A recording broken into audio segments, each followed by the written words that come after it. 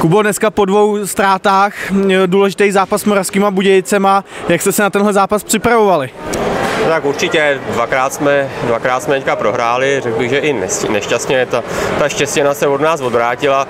Připravili jsme se samozřejmě tvrdě, ale uh, chci říct, že jsme se vypořádali jakoby ztráto, ze ztrátou, jo. byl tam uh, Láďa Portu, Pospec, ale kluci, kteří se toho zhostili, tak odehráli super výkon ze zadu a, a sempli jsme se jako tým a myslím si, že dneska jsme si to zasloužili víc a klukům patří dík.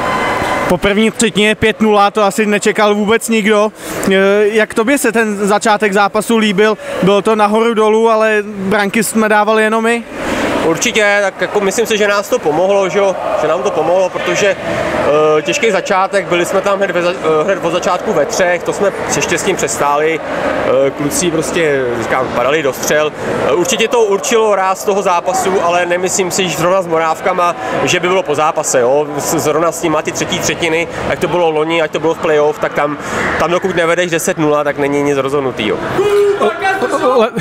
Let, letošní začátek sezóny si nestihl tak jako v předešlých sezónách.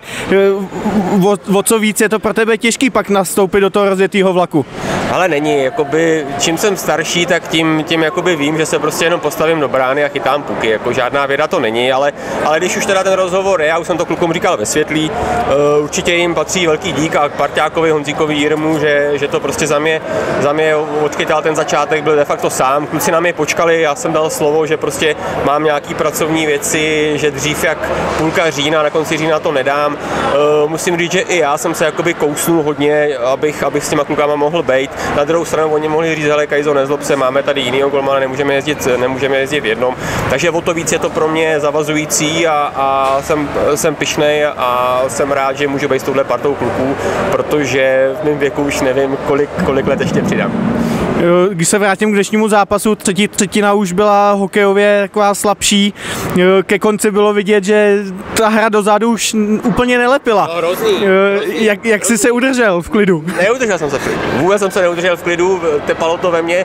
Samozřejmě rozhodnutí utkání, ale myslím si, takhle, zasloužený vítězství, pecka, ale jako minuta do konce a začali jsme si zase hrát na hokejisty a, a bylo to pruser. Takže, ale jasný příklad, jo, co, co dokáže v hokeji minuta, takže uh, jako tepalo to ve mně, moc jsem se neudržel.